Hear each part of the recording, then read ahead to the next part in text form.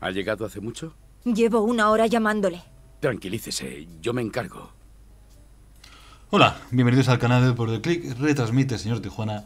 Y aquí estamos con la continuación de Black Sad, Under the Skin. Aquí tenemos a John Blacksad, que estamos en el despacho de Sonia Dan, la actual propietaria del club de boxeo, después del fallecimiento de su padre por presunto suicidio, seguro asesinato. Y a partir ¿Había acabado de revisar todo el papeleo? Ojalá. Disfrutará ordenándolo de nuevo. Vamos a ver si encontramos algo relevante. Si recordáis en el episodio anterior habíamos estado en la partida de póker con Cassie, que se había cargado de un escopetazo a, a Quincy, a Proxeneta. ¿Qué hace? ¿Le gustan las sardinas? ¿Eh? ¿Le gustan las sardinas? Ugh. Olor a sardinas. El ladrón.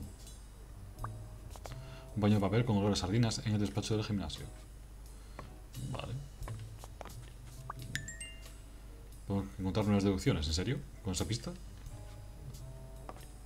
O sea, como no sea weekly, no, me- no me imagino quién puede ser.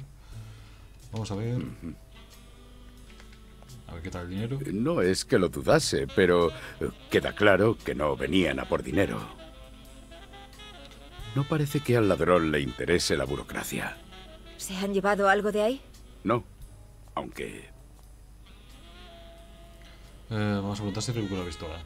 cuando entró a por su bolso en la habitación del hospital, ¿recuperó la pistola? Sí. ¿No está? La volví a meter ahí. No quiero repetir aquello. Pues la pistola ha desaparecido. Vamos a querer a Sonia. Lástima. Se la han llevado. Pistola desaparecida. Sonia necesito confianza. Bueno, no sabemos si hemos hecho bien o no. Pero lo que dimos un primer abrazo, vamos a continuar por el confort.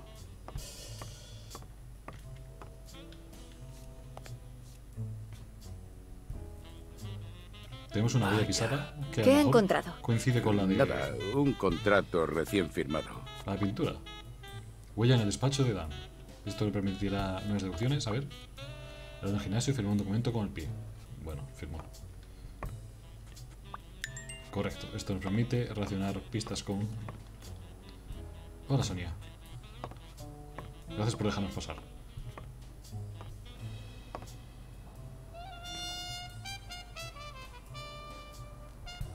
Qué pose de femme fatal, ¿eh?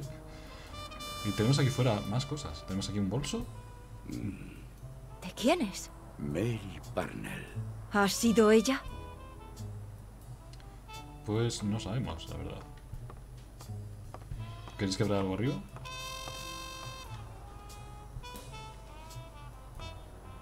No parece que podamos avanzar hacia la azotea. Así que entiendo que podemos... O sí, podemos. ¿Qué hay aquí? Restos de tela tejana y las escaleras que van a la azotea del gimnasio. Tela tejana, un clavo. Parece como si Mary Parnell viese algo, saliera corriendo y subiese acelerada hacia la azotea perseguida por alguien.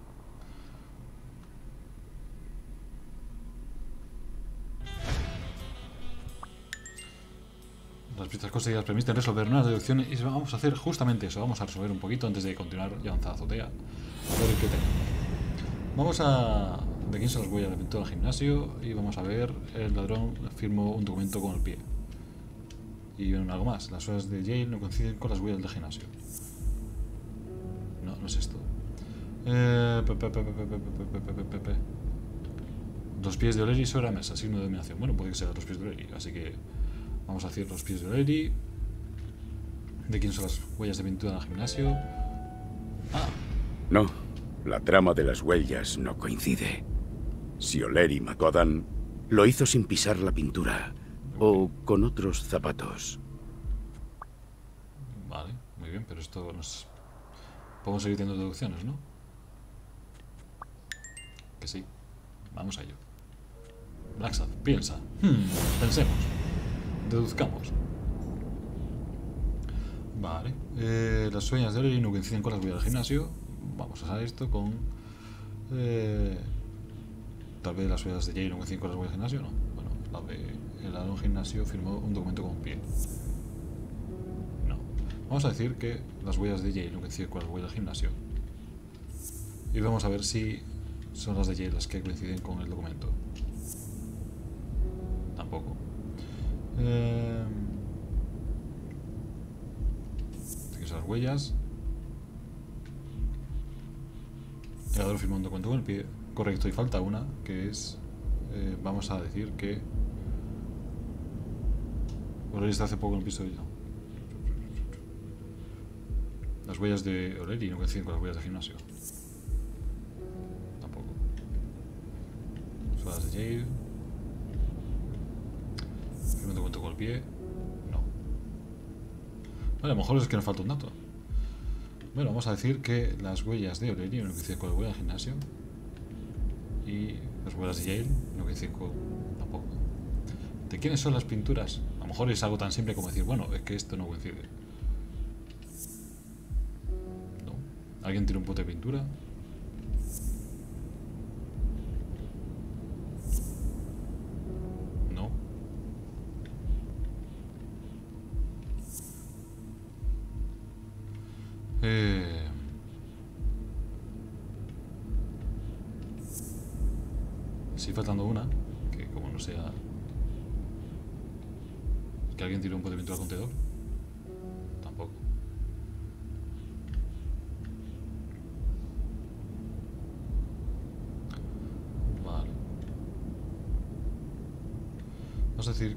Helen Moore usa una petillera con una criatura amorosa y O'Leary guarda en un cajón de fotos románticas con Helen Moore, que esto va a estar rezado seguro. Vale, al menos no quita Parece claro que la pitillera que usa Helen Moore es un regalo de O'Leary. Vale, Helen Moore y Desmond O'Leary siguen enamorados, en teoría. Y podemos deducir más cosas gracias a esto. Nada más a pensar. Pensemos. Em, Helen Moore y Desmond O'Leary siguen enamorados. Helen Moore dice que detesta a O'Leary. Por lo tanto, Helen Moore miente. ¿Por qué dice que le detesta si siguen enamorados? ¿Qué oculta?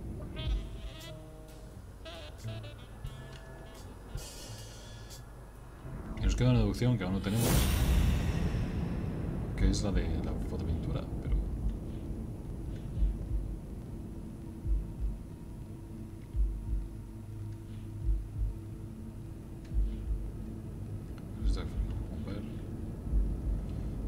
es el tipo que se hace pasar por médico de Yale? Y... No.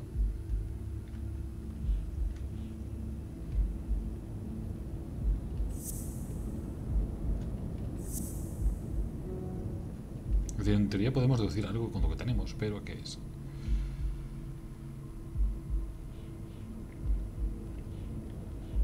Decir, alguien ha afirmado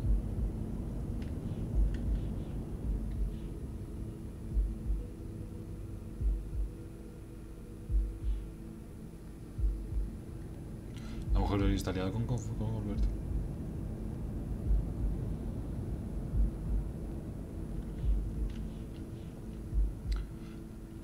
Vale, tenemos esta. Pues esta hemos hecho. ¿De quién huellas de viento gimnasio? Vale. Y nos queda una que no es Oleri, no es...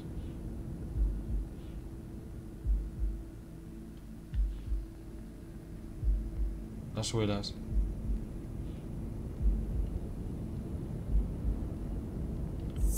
O sea, estas dos no están relacionadas. Si estas dos no están relacionadas, la tercera no está. Vale.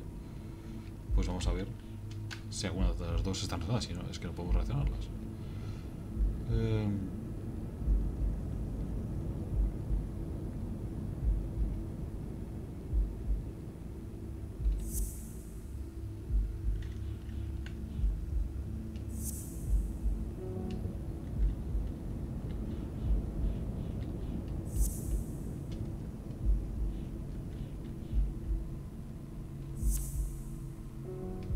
pues de momento creo que no podemos reaccionar esas dos. O si podemos, no sé exactamente cómo hacerlo. En fin, no voy a retrasar más haciendo acciones que nos llevan a una parte. Vamos a intentar subir a azotea, a ver si está allí. Eh, espere aquí, por favor. A ver si hay alguien más. Tiene pinta que ahora vendrá algún tipo de evento. Ostras, Mary Parner con sangre en el suelo. Y parece que han pegado un- una cuchillada por la espalda.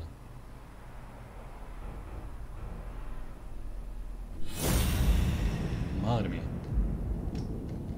La pregunta es, ¿podríamos haber evitado esto de alguna forma? ¿Podríamos hecho, haber, haber hecho alguna deducción que no hubiese, hubiésemos conseguido vida? Podría ser una herida de cuchillo. El asesino se ensañó. Podría ser perfectamente Sonia. Diciendo? Le recomiendo que siga trabajando en el gimnasio. Puede que los primeros días sea doloroso, pero el tiempo todo lo cura. Nosotros ¿Por qué me harías caso? Nosotros aconsejamos que, que continuara y debido a nuestro consejo, pues ha fallecido. Encontramos que lleva en la, en la mano una foto de... Estimada Sonia, hay cosas sobre su padre ¿De qué que... debería contarle?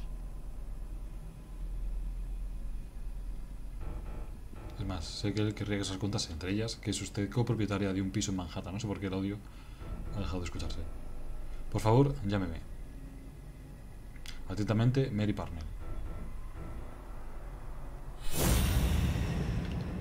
Y tenemos algo más que no sé.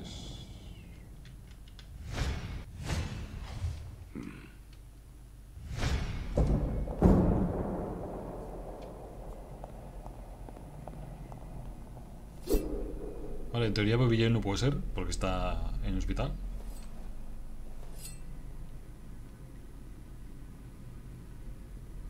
Sonia Dan podría ser. Aunque no, no debería.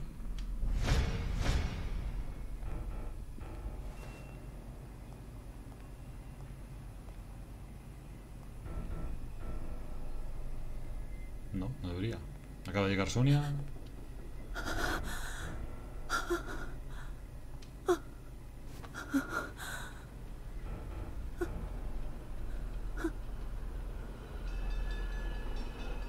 Llame a la policía. Y váyase a casa de un amigo. No vuelva a su piso y menos aquí. Estoy quedándome en casa de una amiga. No he llegado a entrar en casa de mi padre. Chica lista.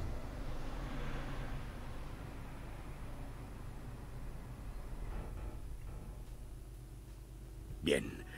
¿Tiene las llaves? Si el asesino no encontró aquí lo que buscaba, quizá también vaya allí. O tal vez ya haya estado.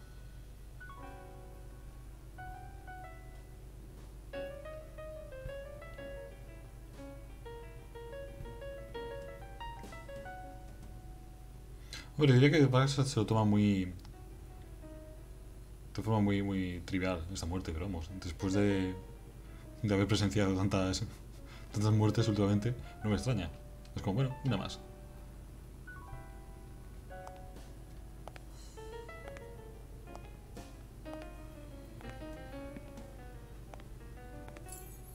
Por una vez tenía las llaves del piso, así que no tendría que usar mis ganzúas ni...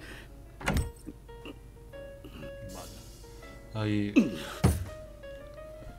Tenemos un pestillo echado por dentro. Un cerrojo.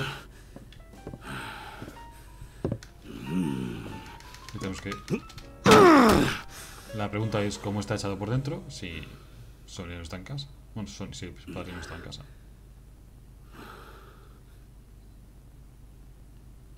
Es una gran pregunta, ¿no? Es decir, ¿cómo está el cerrojo echado? Si no hay nadie en casa. La cerradura no parece forzada.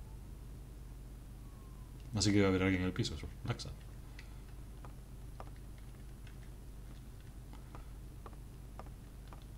Preparado para defenderte. Vamos a ver. Black Fantasy, Little Ham Fletcher, La Chapelle Records. Vaya, me encanta su música. Vale, esto también hace referencia a uno de los cómics de, de Black. El arte del boxeo. Em, vamos a decir que arte sin duda. Hay más de arte en el baile de un boxeador que en ciertos cuadros modernos. Tocadiscos. Y ponemos el Black Fantasy de Little Hand. O Little Hand de Black Fantasy. Y poner musiquita. Vale, algo por el techo.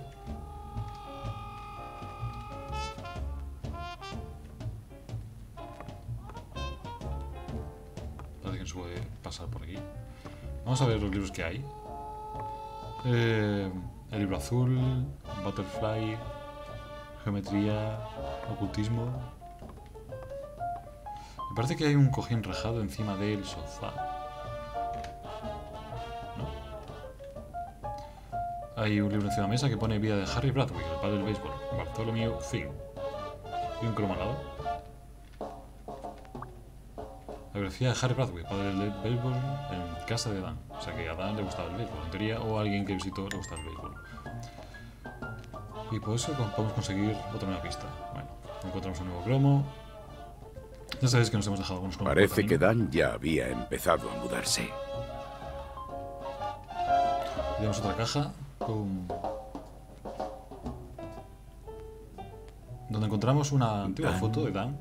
¿Thorpe? Mm, eh, Lo que parece ni la idea. legión Y estos dos ejército. me suenan de algo. Uno puede ser perfectamente el lagarto, el que encontramos que se hizo pasar por doctor.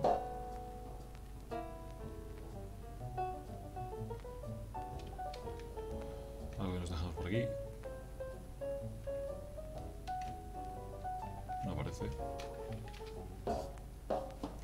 Tenemos un saxofón eh, delante de. Parece increíble que sus puños de boxeador pudiesen tocar algo así. Aunque capacidad de soplo no le faltaría. Ciertamente. Otro cromo.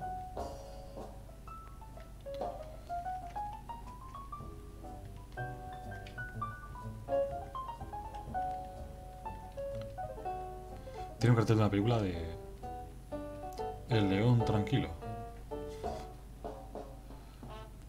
Eh, vale, vamos a decir cinefilia de Dan.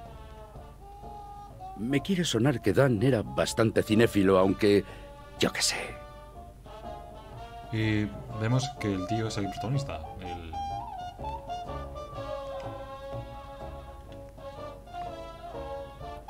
O sea que puede, puede que puede que el que esté en el despacho sea. O sea, en la casa sea el tío de Sonia.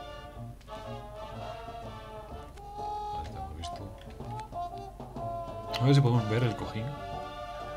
Que está rajado, si no me equivoco. Pero parece que nos da acceso a ello.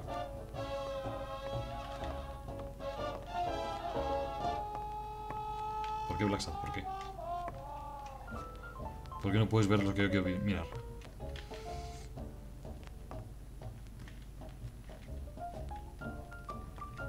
Vamos a intentar ir a la cocina. Tenemos un dormitorio que hay con un chaleco.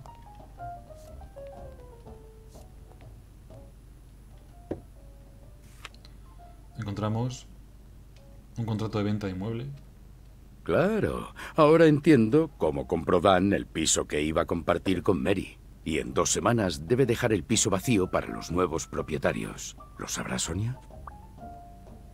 Dan se va a mudar con Mary Parton. Vale, se va a mudar. Y por eso se está yendo al piso. En el frigorífico a ver qué hay. Sardinas. De hecho, no abrimos un frigorífico.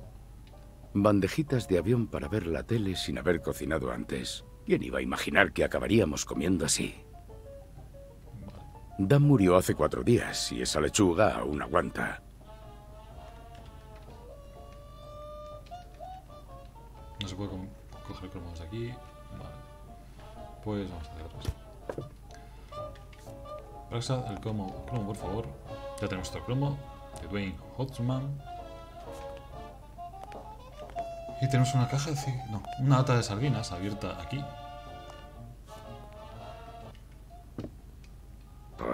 Sardinas. Llevará unas pocas horas abierta. Otro cromo. Antes de pasar al dormitorio, vamos a deducir, porque creo que nos va a hacer falta para cuando tengamos los que espero que sean Quick Time Events. Vale, una lata de sardinas abierta hace poco. Y vamos a decir que eh, un pañuelo de papel con olor sardinas en el despacho de gimnasio. Correcto. Parece claro que el ladrón pasó por aquí y después por el gimnasio, lo que probablemente signifique que no encontró lo que buscaba aquí. Puede que el, que pasó por aquí no esté en el piso, pero entonces saldría por la ventana, por las escaleras de incendio, por algo parecido. Eh, no encuentro lo que buscaba en el piso de Dan. Vale, vamos a seguir reduciendo. Pero es lo mismo de siempre, ¿no?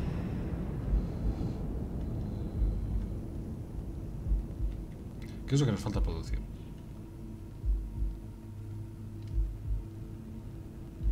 A ver, esto y cuando murió tenía los nudillos hinchados por un golpe de. Correcto, era esto todo el tiempo. ¿Qué aparecer? Dan golpeó el bote de pintura. ¿Pero por qué? Es algo que me parecía tan... Se suponía que era un tipo pacífico. con tan poco, tan poco relevancia que es que nunca, en, en todos los momentos anteriores, dale pegó un puñetazo a la pintura. No, no le di relevancia. Esto no nos informa de nada. Bueno, pues vale, vamos a ir al dormitorio donde probablemente encontremos nueva información o nueva gente. Dormitorio principal. Cama de matrimonio. Tenemos una foto en el suelo. Que no sé si se puede ver, sí. ¿Seguías viéndola cada día al levantarte? ¿Tras tantos años? ¿Con un nuevo amor? Quizá no es necesario olvidar. Eh, Quizá el dolor se transforme en... qué sé yo.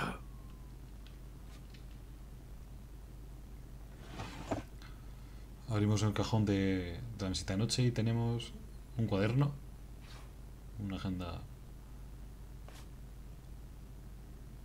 Mi querida Mary, te he traído a esta azotea, el lugar en el que... Mi querida Mary, te he traído a esta azotea donde nació nuestro amor. Parece que estaba ensayando frases que decirle a, a Mary para declararse. Mi querida Mary, te he traído a esta azotea donde nació el amor que por ti siento, para ofrecerte este anillo y...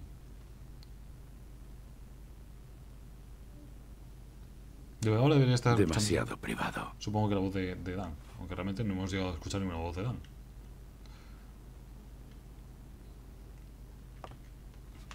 Y tenemos que frente a- al lado de la cama, frente al lado del cafecero, un dibujo que pone para el mejor papá en el Día del Padre, Sonia, de cuando Sonia era pequeña.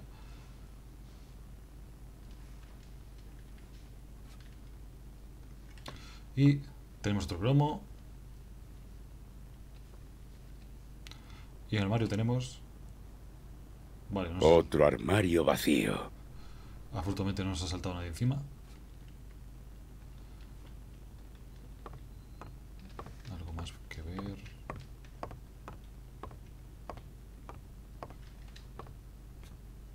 Elaine. Eh, Creo que Jake dijo que la esposa de Dan se llamaba así. Tenemos un cuadro en el piso de Dan, hay un cuadro de un árbol pintado por su mujer. Vale. Tenemos la ventana que está rota y por ahí ¿Se ah, colaría por aquí? Vale, claro, estaba cerrada por fuera, pero entraría el, el, el que registró la casa por la ventana. Eso tiene más sentido. Entonces no hay nadie necesariamente en el piso. Otro. Y tenemos un. ¿Por qué hay un. un lugar vacío? Bueno, de haber estado un cuadro. No sé si eso es relevante o no. Entramos en el baño. ¿Qué tenemos en el baño? ¿Podía Dan permitirse un lujo así? ¿O solo quería impresionar a. Mary?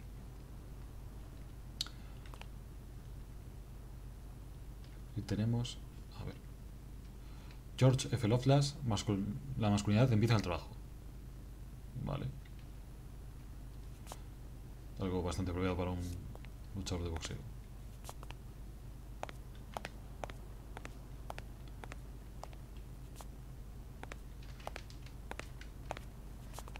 El suelo. Un cesto tirado. No parece que haya ¿Qué hay ahí abajo? No. No parece que haya más nada. En el baño. Vamos a irnos a la otra habitación. Que teníamos enfrente.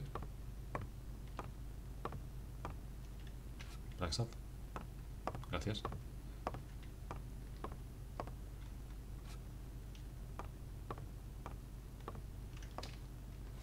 Pasamos a la habitación contigua.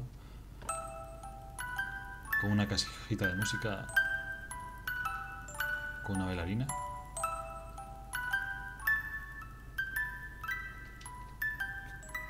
¿Puede que esta sea la primera razón por la que Sonia ha acabado estudiando la carrera de negocios? Esta es la habitación de pequeña de, de Sonia. Y de ahí una DACO.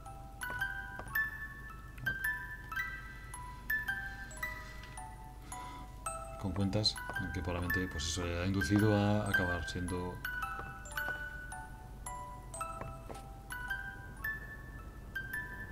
¿Qué pinta esto aquí? Hay un guante de box, un guante de. de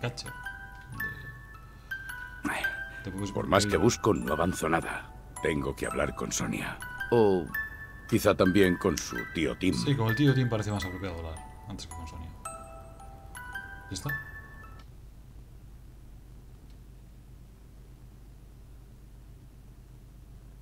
Me trae...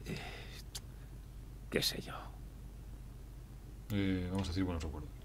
¿Buenos recuerdos? Optimista, ¿eh?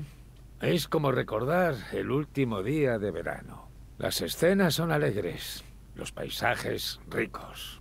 La luz, por el contrario, es mortecina, presagia mal tiempo.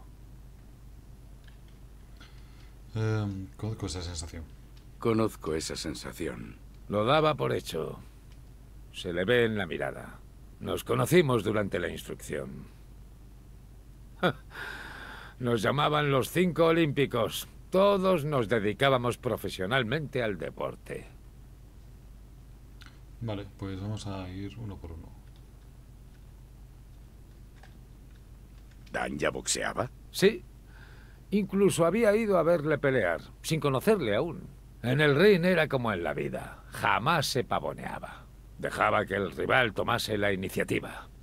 Esquivaba los golpes por milímetros. Si no le mirabas a los pies, pensarías que no se había movido.